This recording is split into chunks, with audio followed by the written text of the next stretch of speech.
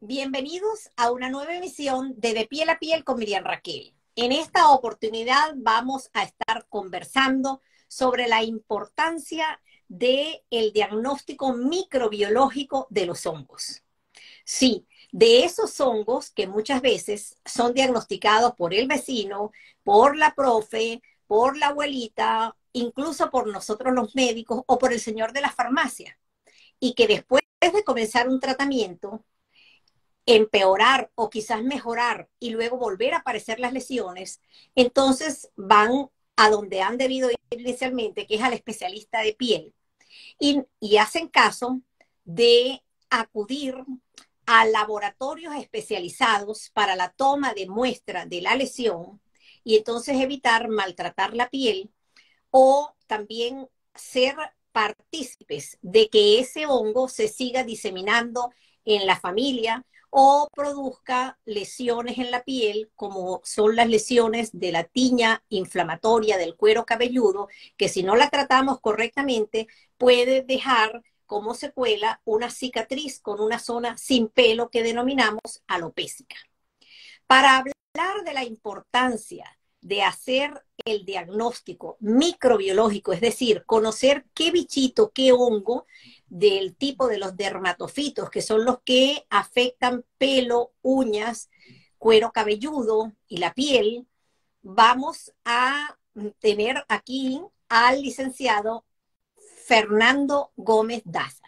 Fernando es especialista en micología médica, graduado como bioanalista en la Universidad de Carabobo él tiene estudios de, posgrado en micología en la Universidad Experimental de Coro, la Francisco de Miranda, con los doctores recordados y queridos, los doctores profesores Yegres, y también ha estado en el servicio de micología del Hospital Manuel Gea González con el afamado, reconocido internacionalmente doctor Roberto Arena en México.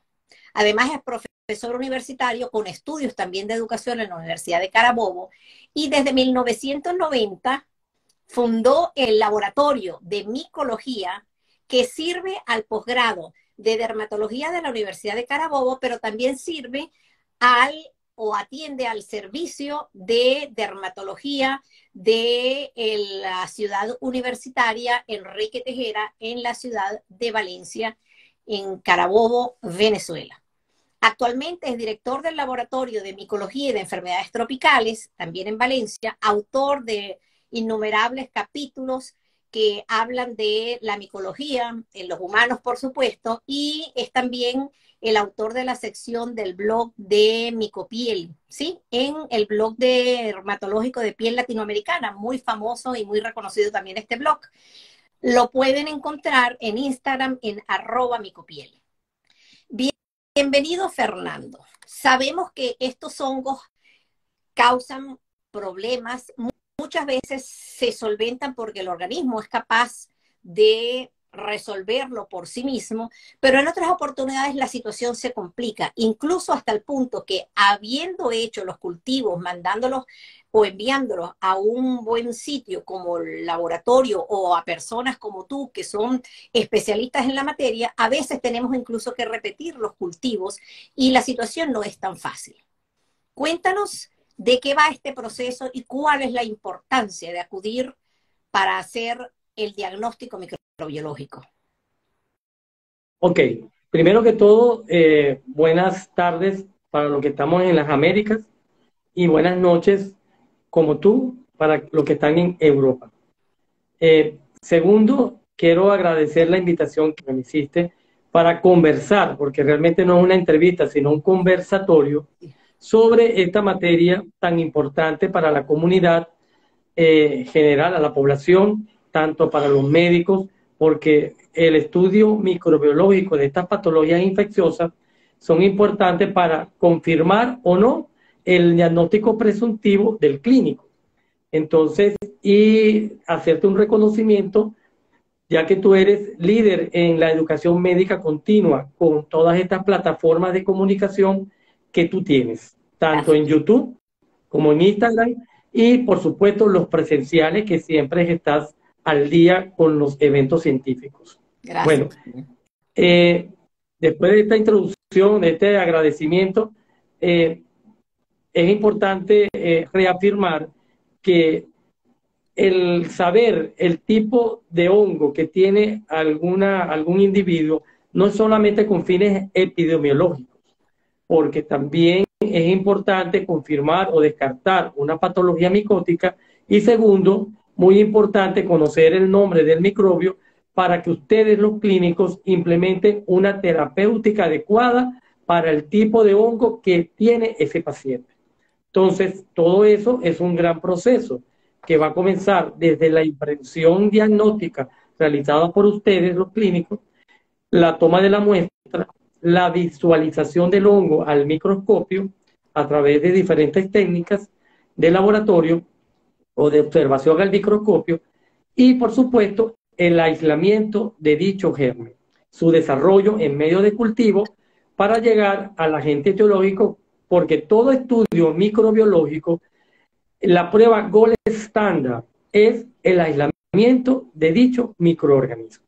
Entonces, a partir de ahí, ustedes los clínicos pueden implementar una terapéutica adecuada y también cortar el eslabón epidemiológico, porque estos dermatofitos, que así se llaman a estos productores de tiñas, que lo implementaron los romanos, el término tiña, pero antes los griegos le habían puesto otro nombre, que eh, le habían puesto herpes, por el conglomerado de lesiones y también circinadas o circulares. Entonces, primero fueron llamados herpes, después tiñas. Y con los años, eh, los investigadores pudieron ver que estaban o eran producidos por un grupo de hongos denominados dermatofitos. Entonces, bueno, a través de ese conocimiento, ustedes pueden implementar muchas terapéuticas, cortar el eslabón epidemiológico, porque hay uno que, eh, estos hongos han ido evolucionando con el tiempo. Comenzaron desarrollándose y conviviendo en la tierra y posteriormente transmitir a otros organismos superiores como el hombre. Esa forma de transmisión se llama geofílicos. Después fueron desarrollándose, fueron parasitando a los animales y se quedaron en los animales para posteriormente parasitar al, al hombre, al Homo sapiens, y ese tipo de transmisión se llama zoofílico. Ciertos hongos fueron acostumbrándose a vivir en el humano y se podían transmitir de humano, de Homo sapiens a Homo sapiens. Y esa transmisión se llama antropofílico, o sea que se contagia de persona a persona o a través de fómites. Entonces, el conocer el nombre del hongo, porque cada hongo tiene una forma de transmisión distinta. De esa forma puedes cortar el eslabón epidemiológico, que es, si es el animal, quitar el animal del individuo que es susceptible, también curar el animal, y si es el humano, saber quién fue el que les transmitió esa enfermedad para que no sea repetitivo ese tipo de infección. Fíjate, como quiera que estos en vivo los hacemos para todo público y que luego los colgamos en nuestro canal de YouTube de piel a piel, que les invito a que se suscriban. Yo voy a poner un ejemplo de actual aquí en España sobre lo que tú estás exponiendo y la importancia de ese diagnóstico microbiológico, es decir, de identificar qué germen está causando la enfermedad. Aquí en España, hace poco, la Academia Española de Dermatología y Veneriología hizo una alerta y salió publicado, ya está publicado en actas dermosifilográficas, eh, un trabajo que se tituló Alerta sobre un hongo de, de cuero cabelludo o dermatofitosis en, en cabeza y cuero cabelludo asociadas al rasurado en peluquerías. Se veía o se está viendo, porque yo he tenido casos en mi consulta pediátrica, se está viendo en adolescentes que van y, ese estilo de corte de cabello que rasuran y raspan, sabes que eso lleva, por supuesto, la parte superficial de la piel, en, algunas peluquerías que, que, reúnen ciertas características. Y el agente que se logró detectar en por lo menos los 100 casos, 107 casos publicados, que por cierto, Ana María Angulo, la doctora, que es pediatra, dermatólogo pediatra, con la cual hemos hecho algunos en vivos y que también los invito a verlos en el canal sobre tiñas del cuero cabelludo, tiñas capitis y dermatitis seborreica. Ella participa en esa investigación y se detectó que era por Trichofitum tonsura.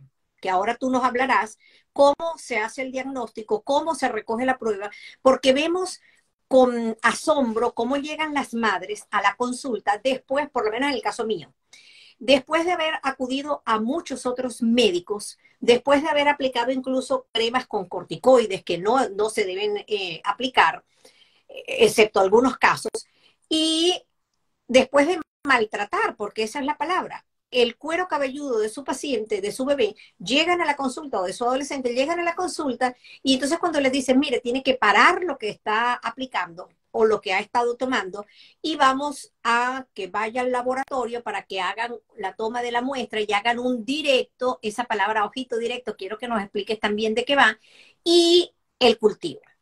Una vez que se haya tomado la muestra, entonces usted viene y de acuerdo a las características de lo que estamos viendo, descamación, zona de alopecia, cabellos que se vienen en la mano sola, inflamación, adenomegalias, pues comenzamos el tratamiento bajo la sospecha, si está el perrito, si no está el perrito, si hay otras personas en la familia, en fin.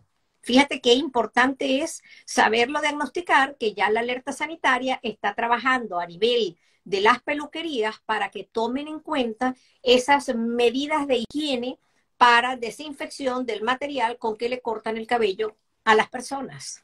Okay. Bueno, todo diagnóstico comienza primero por las características clínicas de las lesiones. Hay ciertos casos cuando el dermatofito ataca la piel lampiña, la piel sin pelo, piel corporal, también le llaman piel glabra, ¿verdad? Entonces, eh, hay una característica clínica muy específica. Llega a ti un niño con una característica, como voy a mencionar, una placa eh, eh, circinada, o sea, circular, donde el borde es bien rojo y descamativo, donde haciendo el interrogatorio con el paciente ha tenido contacto con mascotas como perros o gatos, a lo mejor ya 2 más 12, 4 más 2 son 6, tú puedes hacer un diagnóstico presuntivo de una tiña corporal en su inicio y le puedes indicar un tratamiento tópico y amor va a mejorar. Pero en las tiñas de cuero cabelludo o de piel cabelluda o de piel pilosa, es, importantísimo, tiene mucha justificación hacer el estudio microbiológico hasta llegar al agente teológico. Porque es una patología donde es fiel ejemplo de una iatrogenia, a veces por parte del médico o el intrusismo. Como tú bien dijiste, el vecino es el que me dice y no le dan el, primero no hacen un diagnóstico correcto y como no saben cuál es el hongo, no saben qué medicamento es el ideal.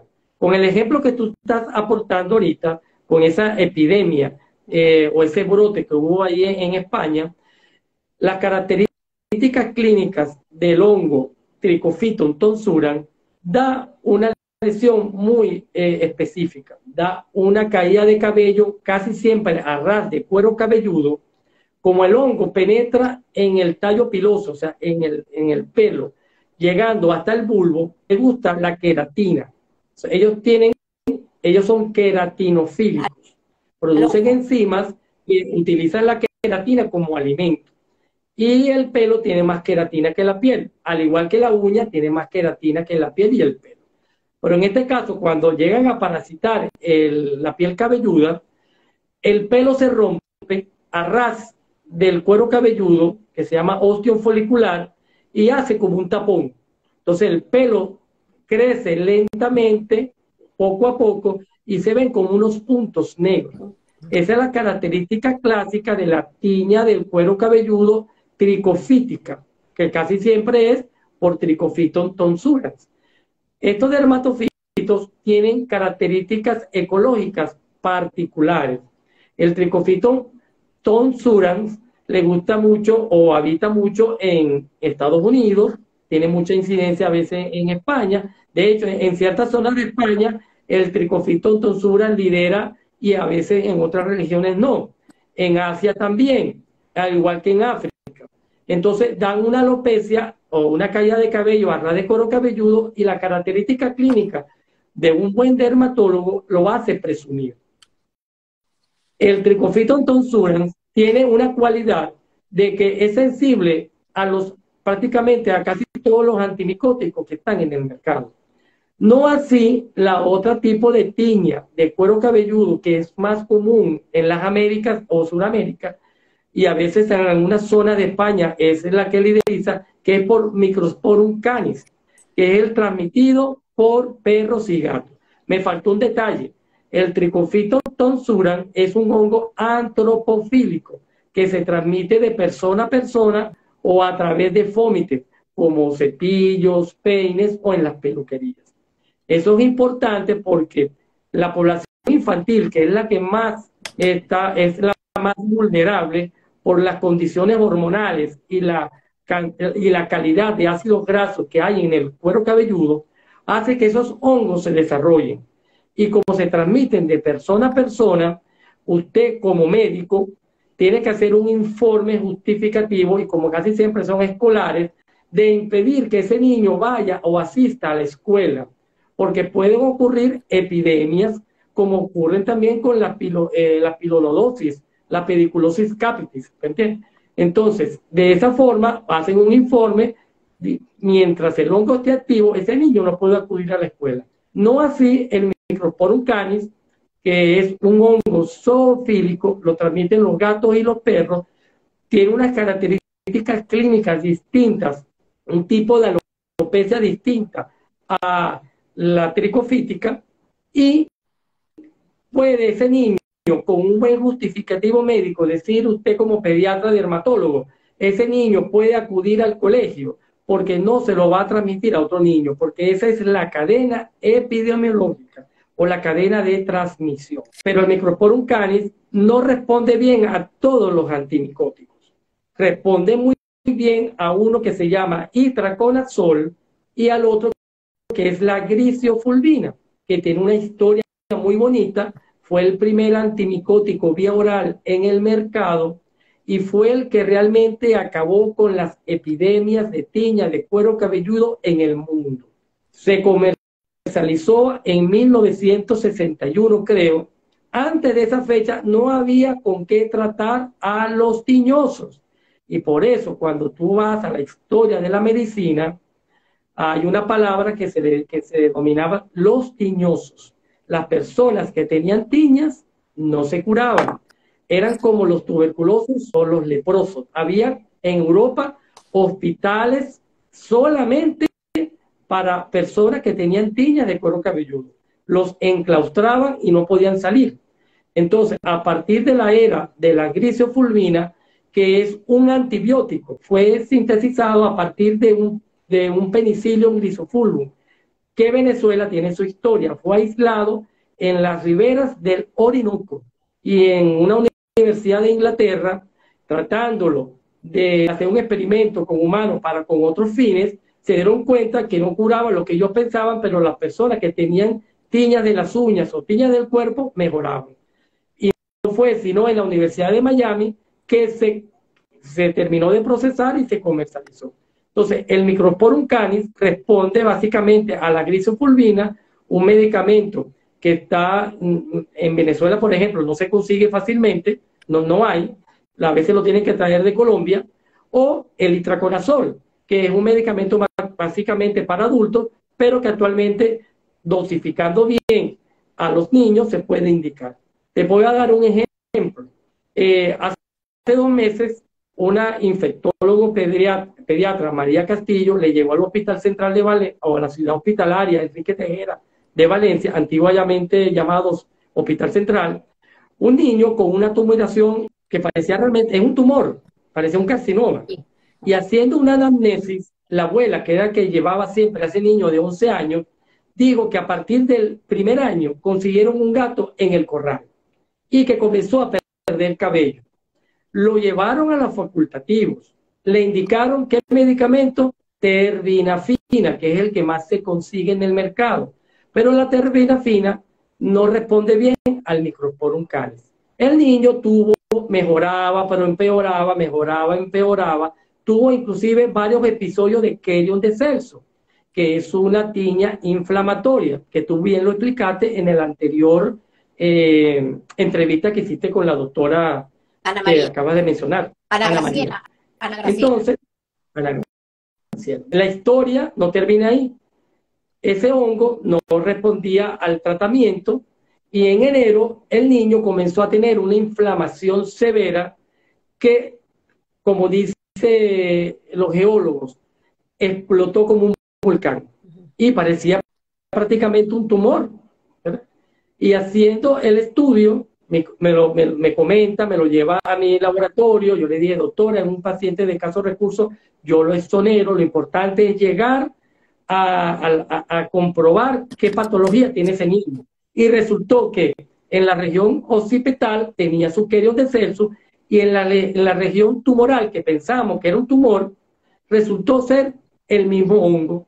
El hongo se defendió tanto con la terbinafina que le indicaban intermitentemente durante sus 10 años de vida, que se hizo como un biofilm, se hizo un acúmulo de IFAS y salió como en granos. Era un misetoma. Tú conoces el término de misitoma. Un tumor que tiene una inflamación, tiene fístulas y de la fístula sale una secreción y de la secreción hay unas cosas redonditas que se llaman granos que es una adaptación parasitaria de ciertos microorganismos, tanto de la bacteria como de los hongos, pero en este caso era de un hongo. Pero el micetoma, que es una patología, es un síndrome bien definido, puede ser producido por cualquier hongo o solamente por bacterias actinomecetales aeróbicos, pero todos ellos por inoculación, por un trauma. Entonces, se, clasificó o se terminó etiquetando este caso, que está, que está en pleno desarrollo, gracias a Dios está mejorando, como un pseudomicetoma. Por, no es mala práctica, no sé, en tal caso será iatrogenia. Nunca le hicieron un estudio micológico y le indicaron la droga que no era.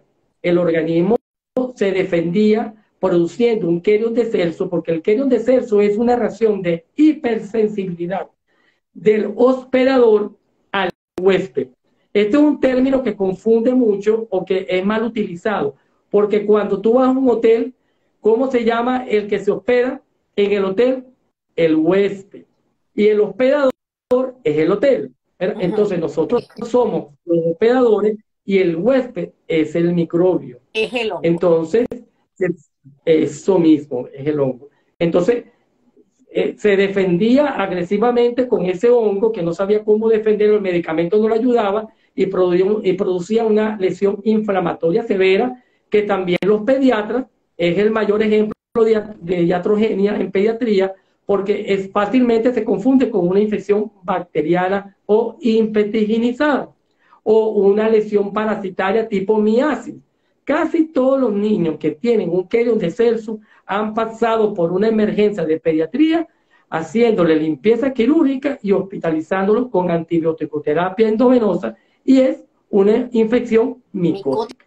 Y en este caso fue tan crónica la enfermedad que casi fue a, ser, fue a convertirse en un micetoma.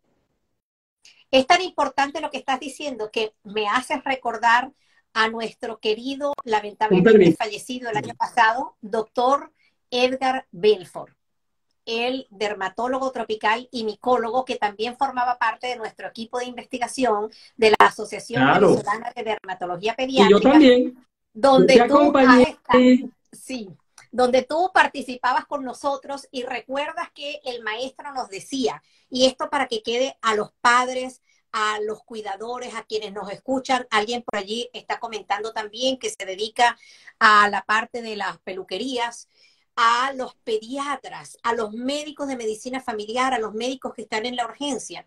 Y si usted está allá en el fin del mundo, en el Amazonas, por, por decir un nombre, está en África, no tiene recursos, fíjese siempre en la clínica que comentábamos ahora y el doctor Edgar Belfort, que era micólogo tropical, nos decía, si ves la zona de pelada, si hay descamación, si hay pelitos tonsurados como puntitos, como lo explicó hace rato eh, el licenciado Fernández Gómez Daza, y, y si notas que tienen los ganglios, toma la muestra y trata, comienzas a tratarlo porque estás en un sitio, pero toma la muestra porque es tan fácil que ahora tú nos vas a explicar cómo se toma la muestra.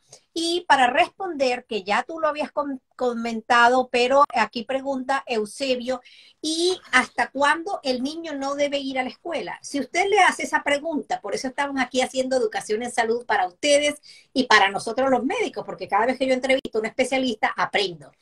Existe a veces discrepancia entre los que son los micólogos, los micólogos médicos, los que son los bioanalistas, que no son micólogos, que eso es otra cosa muy importante, y con algunas guías de las asociaciones, por lo menos aquí en España, que hay 23 y más asociaciones de pediatras. Decía Fernando Gómez, nuestro invitado, si el niño, usted le puso su tratamiento tomado que es lo que llamamos sistémico, y a veces lo mandamos tópico, que es decir, aplicado, el niño puede regresar al aula si no tiene lo que llamamos un querium celso o absceso, no está supurando, no está drenando. Y como decía el licenciado, si el hongo es un dermatofito zoofílico, no antropofílico. Por eso es la importancia de saber qué organismo estamos tratando. Si es, antropofílico, es decir, pasa de persona a persona, pues entonces usted tendrá que esperar porque el riesgo de pasárselo a sus hermanos de, de aula, hermanos de salón, es grande y entonces no se frena la epidemia. Eso para responderle al señor que nos estaba preguntando, Eusebio. Ajá. Entonces, ¿cómo hacemos la para en el pelo? Ajá. ¿Qué, qué, condiciones debe tener? Si llegó el niñito tiene eh, en lo que nosotros sospechamos, y a lo mejor los padres también llegan y dicen, doctora, es que yo creo que tiene un hongo en la cabeza. A veces no tienen el gato ni el perro cuando son por micros, por un canis, no tienen el gato y el perro ahí, pero resulta que el animalito se mete de noche o el niño sale a la casa de los vecinos o va a la casa de los abuelos y allí lo tiene, o es el cobayo o la cobaya, en fin. Entonces, ¿qué condiciones, qué le decimos nosotros a los pacientes para que tú puedas tomar una buena muestra y el cultivo no salga un falso okay. El, procedimiento en el laboratorio consiste, cuando ellos me llaman primero para decir que van, siempre hay que decir que si suspender el tratamiento antimicótico mínimo una semana antes. Eso es fundamental.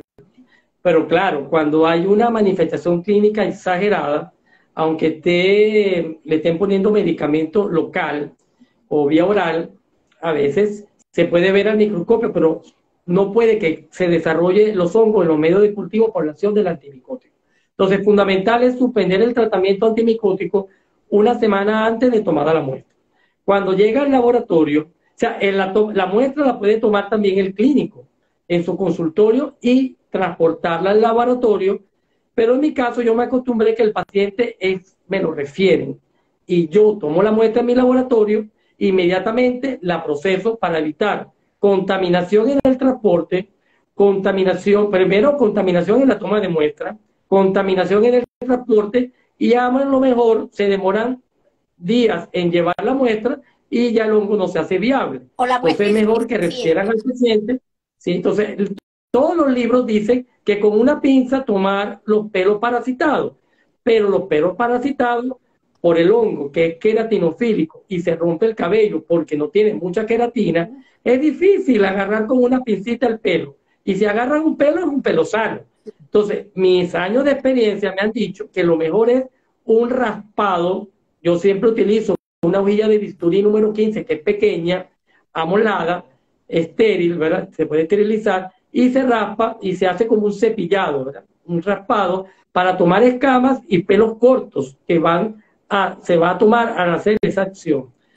Se recoge en una lámina y la mitad de la muestra se le agregan unas gotas de hidróxido de potasio que se llama KOH, casi siempre al 20%, y la otra mitad se cultiva en medio de cultivos especiales para hongos que pueden ser selectivos o especiales o diferenciales.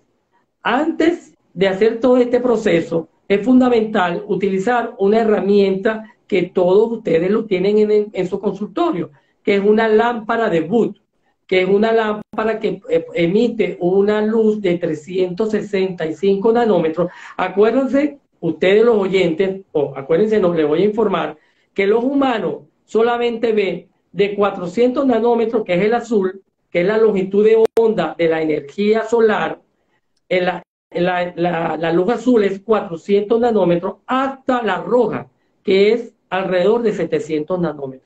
Nosotros vemos nada más del azul al rojo, que eso es lo que hace el agua como, como prisma y formando el arco iris cuando llueve y hace sol. Uno ve del azul al rojo, más nada.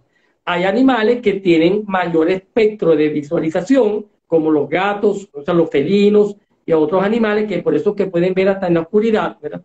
Entonces, esa luz de 365 nanómetros es por debajo del azul. Uno la prende y prácticamente no ilumina porque nosotros no la vemos. Por eso también se llama luz negra. Y al poner esa luz sobre las lesiones, podemos evidenciar alguna fluorescencia que pueden tener los hongos que están parasitando el cuero cabelludo. En especial el Microporum canis, que es el de mayor, eh, que se aísla más dentro medio, que emite una fluorescencia verde brillante. En cambio, el tricofito tonsura no emite fluorescencia.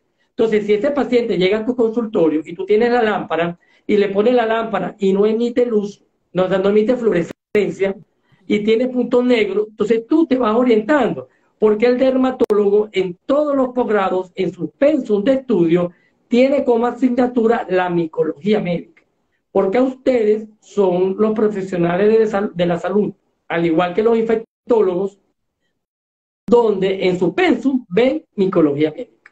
Entonces, ustedes están capacitados para interpretar todas esas características clínicas y de diagnóstica como la lámpara de luz.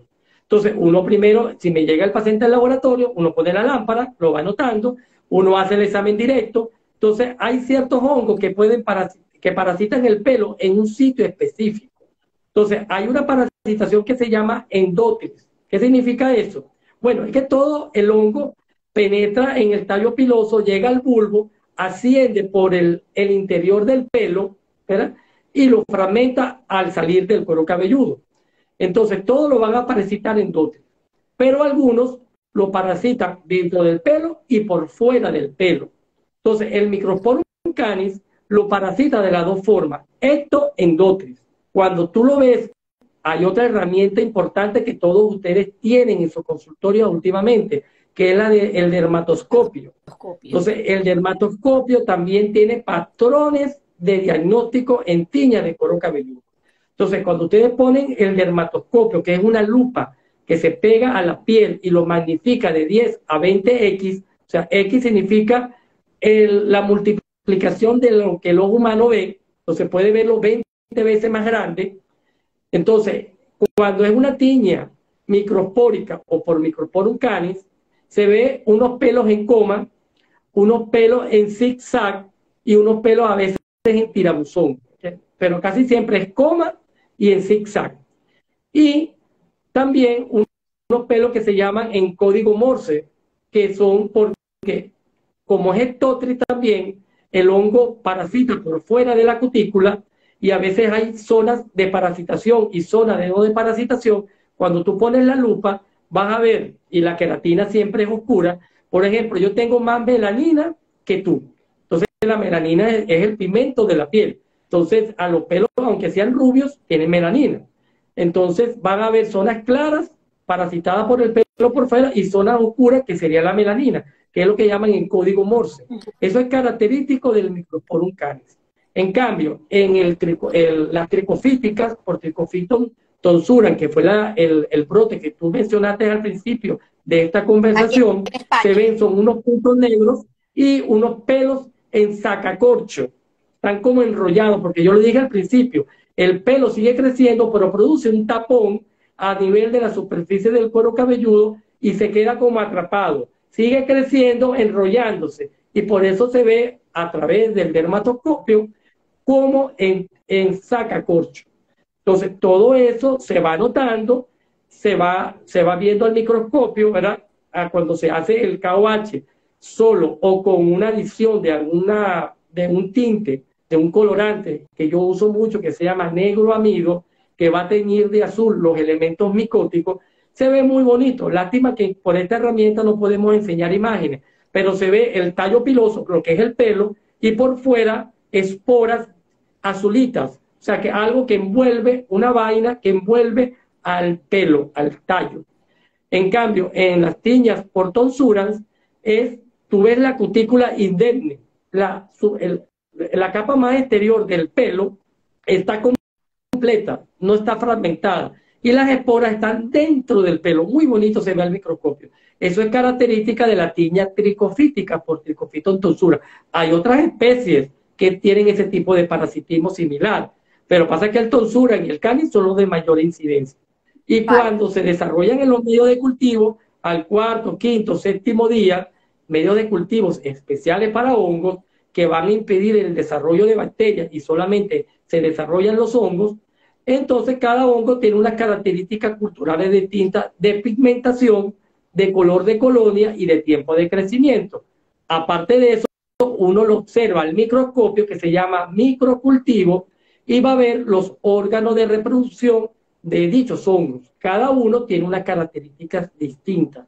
Todo eso uno lo va sumando y llega a la conclusión de que el hongo se llama Microporum canis, Trichophyton tonsuram, Trichophyton choeleni, eh, Nanicia egipcia. Hay como siete dermatofitos que pueden atacar el pelo. Eso es resumida cuenta. Y eso sucede en cualquier patología de dermatofitosis. Ajá, fíjate.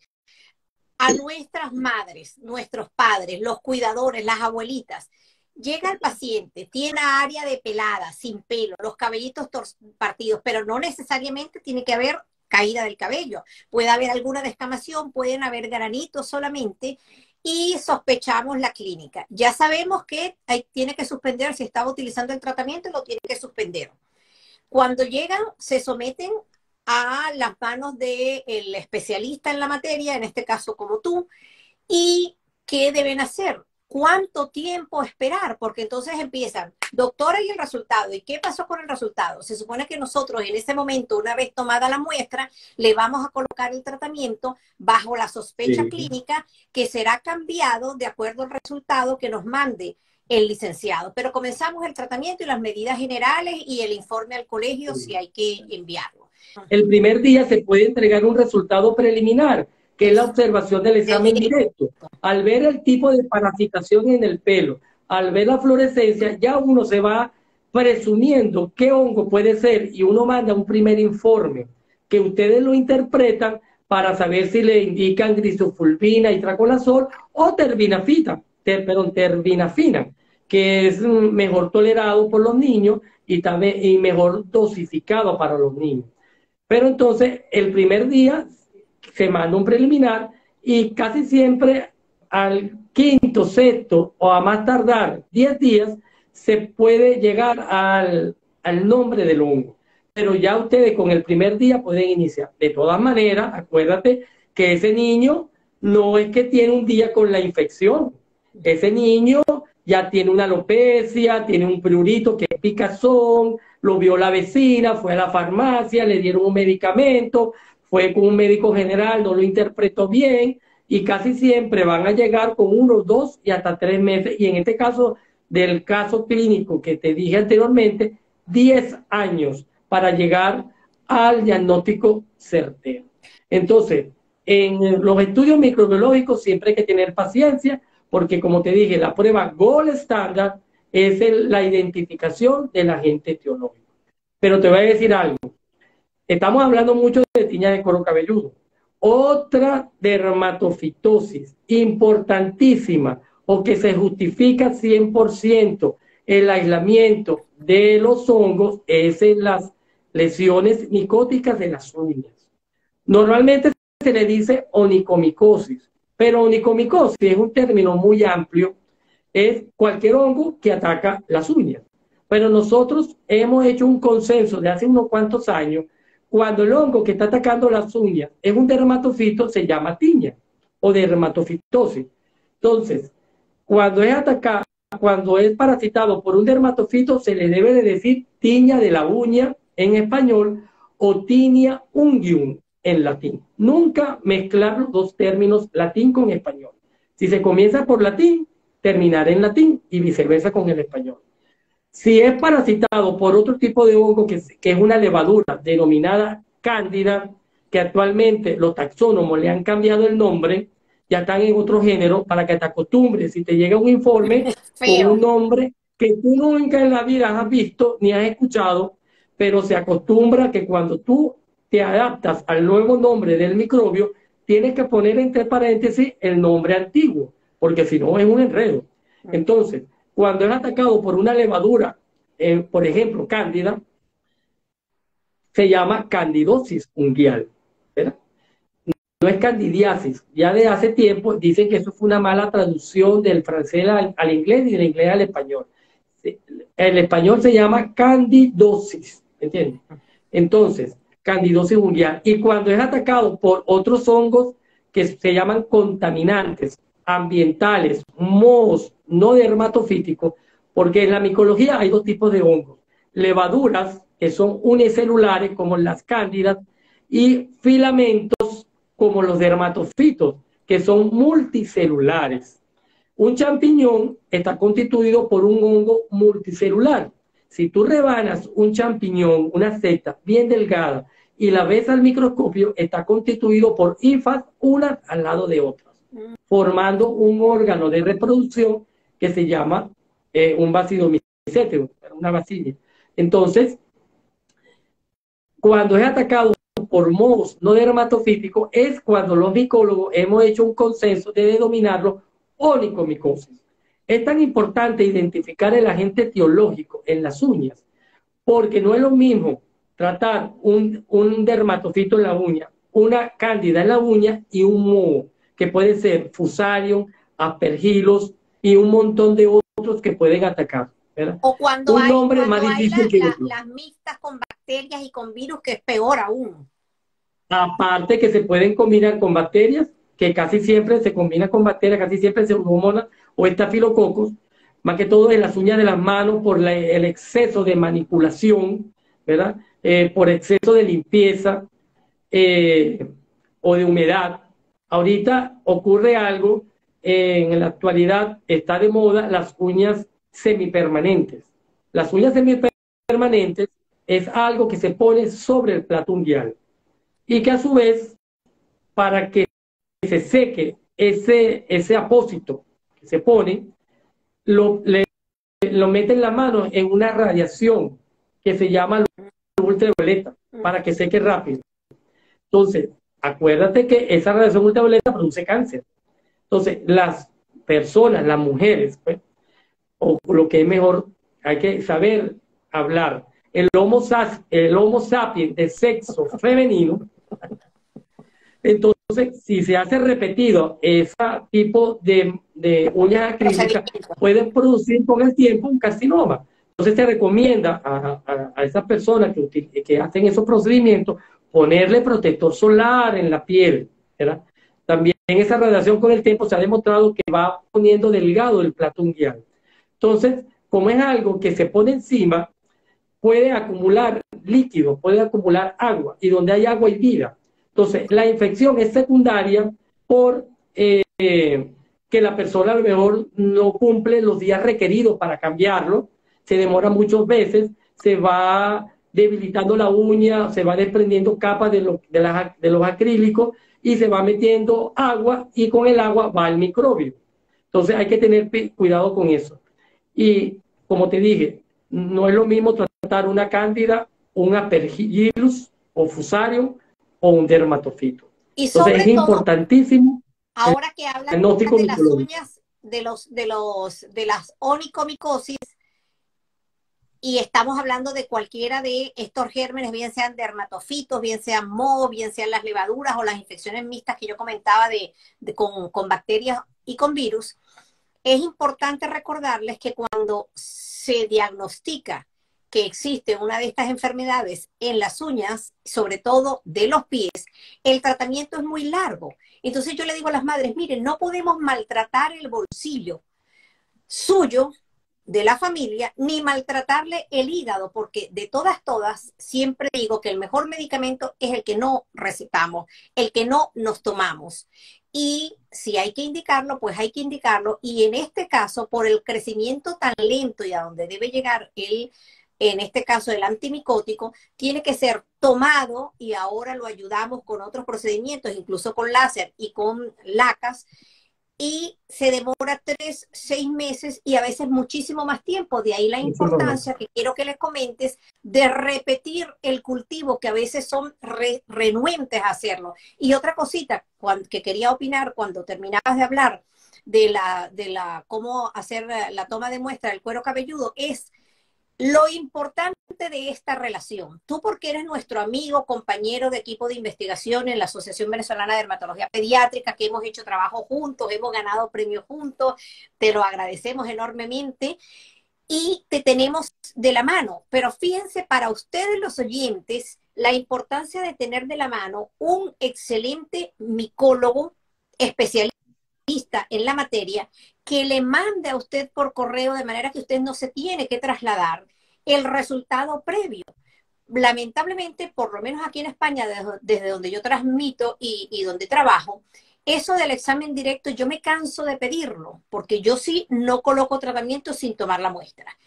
Y, pido directo y cultivo y jamás he recibido un directo, jamás. O sea, eso no lo hacen, no sé de qué va, si será que los bioanalistas no son especializados en, micología médica como eras tú, o de qué va eso. Yo creo también es que todo en la vida se tiene que correlacionar. Por ejemplo, básicamente, si volvemos a las uñas por mos, el aspergillus y el fusario son hongos ambientales, pero que pueden ocasionalmente producir patología eh, en el cuerpo a nivel de órganos internos, pulmones y las uñas. Entonces, se tiene que correlacionar cuando se hace el examen directo, ver la IFA, que es característica de esos hongos, correlacionarlo con lo que va a desarrollarse en los medios de cultivo. Porque llega el momento que puede ser una contaminación ambiental si te crece un apellido en un medio de cultivo. Entonces, una cosa más. Y no lo viste en el directo. ¿Ah? Y no, lo, viste. Entonces, a veces yo creo que llega la muestra y la cultivan sin pasar por el examen directo. Por eso no te lo, no, no te lo reportan. O no hay una comunicación fluida entre el laboratorio y el clínico eh, sabe que ustedes como médico, eh, mi papá era médico y él me decía, vas a estudiar bioanálisis. Ustedes los bioanalistas son aliados del médico. Tiene que haber una interrelación, una confianza, llamarse, decirme. Y yo he hecho eso de hace mucho tiempo. Primero, cuando formaba los dermatólogos, y yo me jubilé de la universidad y ya salí del posgrado de dermatología, pero hacía el hincapié, lo formaba y después había la relación. Entonces, al llegar el paciente a mi laboratorio, había esa comunicación constante. Entonces, pienso que lo que te pasa a ti es que no hay una buena relación médico-laboratorio, médico-microbiólogo, para, es que también eso va a depender también del tipo de salud. Para los que están fuera de Venezuela, aquí el sistema de salud en Venezuela eh, no, es, no está casado con, como, como en España, como en Colombia, que hay un, nivel, un, un, nivel de, de, de, que toda la población está asegurada y tiene una institución que es la única que te puede ver a ti con una atención primaria, una atención especializada. Aquí, bueno, lamentablemente la salud pública no es tan buena, entonces la gente tiene que recurrir a la medicina privada y a los laboratorios privados pues, para, para, para llegar a un diagnóstico certero y una curación de sus enfermedades. Entonces, aquí en Venezuela puede haber esa relación directa del médico con el, microbiólogo. Pero en España, tú indicas un estudio y, el sistema es el que le va a decir a ese paciente dónde ir. ¿Alguna recomendación a los padres de niños con la sospecha qué hacer y qué no hacer en un, dos, tres? bueno, eh, todo también va a depender de dónde viva esa persona. Por ejemplo, aquí en Venezuela hay una cultura de toda la vida que si tiene una lesión en piel y tienen dinero en la cartera, van al dermatólogo directamente. Si es un infante, hay dermatólogos y a su vez hay pediatras, dermatólogos pediatras. Aunque los posgrados de dermatología en Venezuela forman pediatras tanto para los adultos como para los niños. Pero bueno, aquí dirigen directamente al especialista. Si están en España o en Colombia, por ejemplo, tú tienes que acudir a la atención primaria, él tiene que justificar su consulta, tiene que indicar algo, y yo creo que si falla lo que él está haciendo es cuando solicita una, un especialista superior y hay lapsos de espera y por ahí van las cosas. Entonces, ante una, después la recomendación que yo voy a dar es dependiendo de dónde viva el paciente, pero ante una sospecha de una lesión que tenga, es que también el, la persona general, la población general no va a saber si un hongo o no es un hongo, porque lo que tiene o la convicción que tiene la población general es que todo lo que pica es hongo. Y tú sabes muy bien que todos los hongos no pican, que se llaman pruritos. Todos los hongos no pican. Y eh, muchas otras enfermedades sí pican y no son hongos. Hay mucha automedicación, tanto aquí como allá. Y la, la medicación que más se vende es la antimicótica o la antiinflamatoria tipo esteroide. Claro, y ves la lesión va mejorando, y entonces continúan aplicándola y cuando tú llegas y le dices, yo he visto niños con unas extensiones que abarcan toda la espalda, niños que han tenido meses, incluso últimamente, hace uno, uno, creo que fue el año pasado, vimos dos hermanitos que estaban completamente, les habían hecho el diagnóstico, pero los padres no cumplían el tratamiento como debía ser porque se desesperan y tampoco acudían al sitio idóneo para hacer el cultivo. Entonces colocaban tratamientos que no mejoraban y la desesperación se toma a, los padres y el niño es el perjudicado.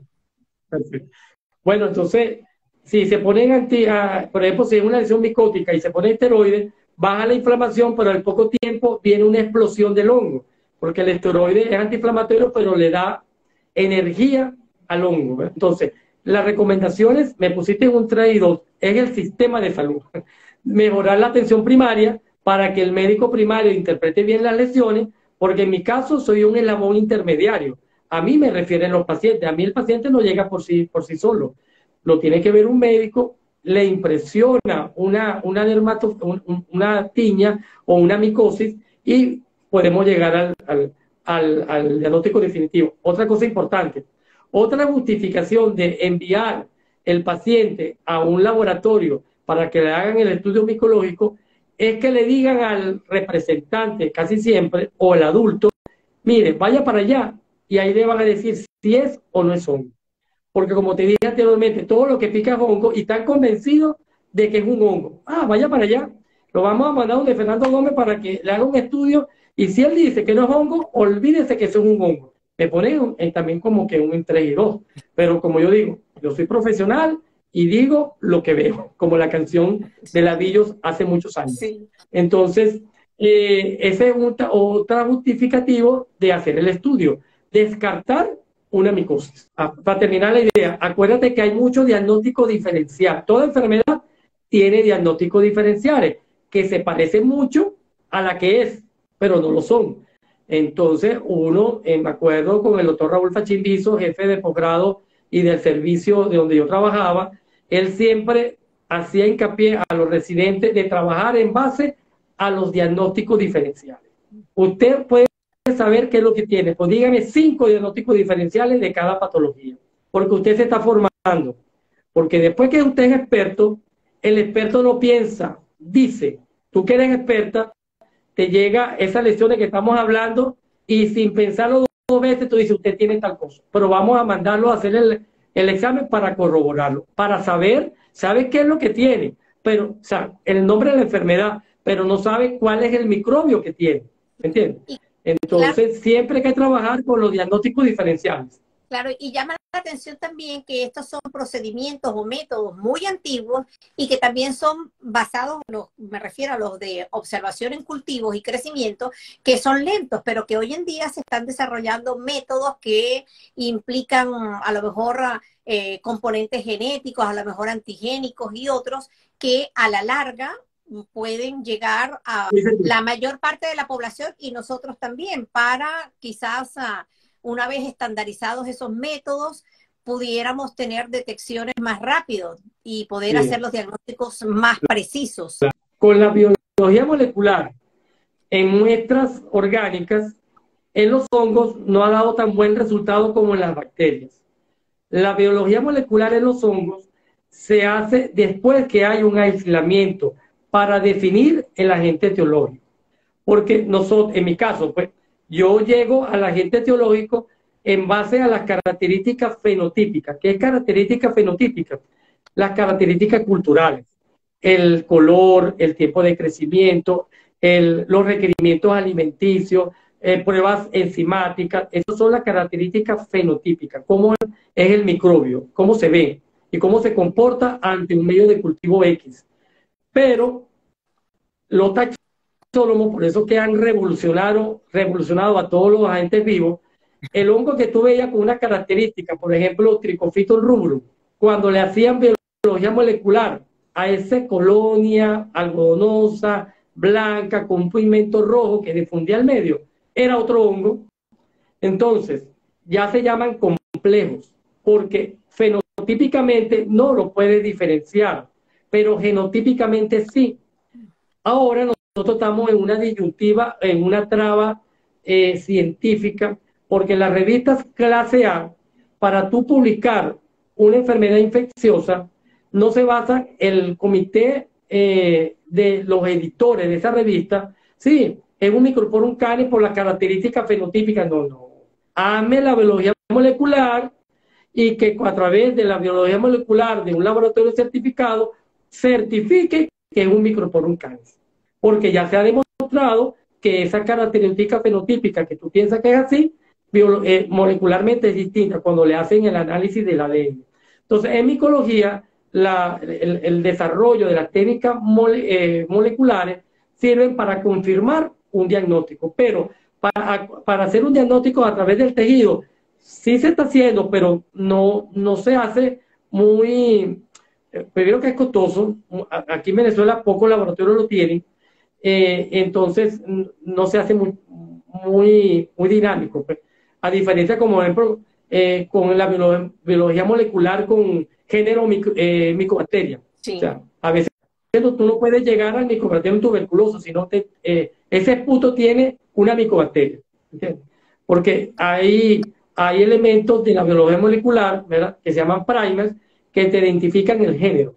Después, por otros métodos, te identifican la especie, pero ya el clínico en poco tiempo, porque es una bacteria que se demora mucho en desarrollarse, el micobacterium tuberculoso. O como otras bacterias que no se desarrollan en medios artificiales, como el microbacterium leprae, productor de la lepra, por ejemplo. Entonces, hay técnicas moleculares que te ayudan a hacer un diagnóstico rápido. Espero que nuestros oyentes que siempre nos acompañan y les agradezco mucho, estén complacidos con escuchar cuál es la importancia del diagnóstico microbiológico de las micosis, tiñas, hongos, sobre todo en edades pediátricas. No me queda más que, porque tú eres pediatra. y para terminar, por los oyentes que se están formando o que no saben mucho, acuérdense que la dermatofitosis es una enfermedad micótica que ataca tejidos queratinizados. La piel, los pelos y las uñas. Hablamos solamente de tiña de cuero cabelludo y tiña de la uña, pero hay como 15 dermatofitosis distintas.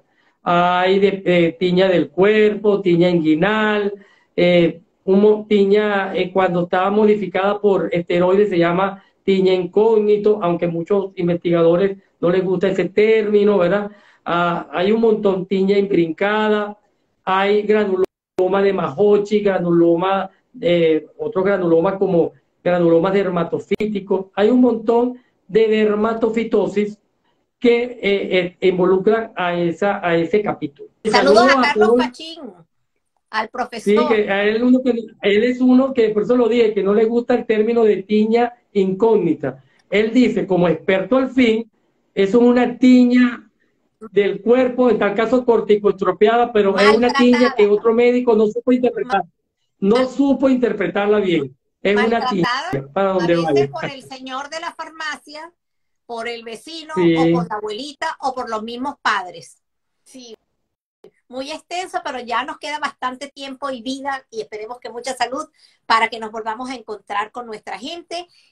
Te abrazo, te beso, saludos a la familia. Por favor, suscríbanse al canal de Piel a Piel si les parecen los temas interesantes y Un abrazo para todos y que Dios los bendiga. Adiós. Amén.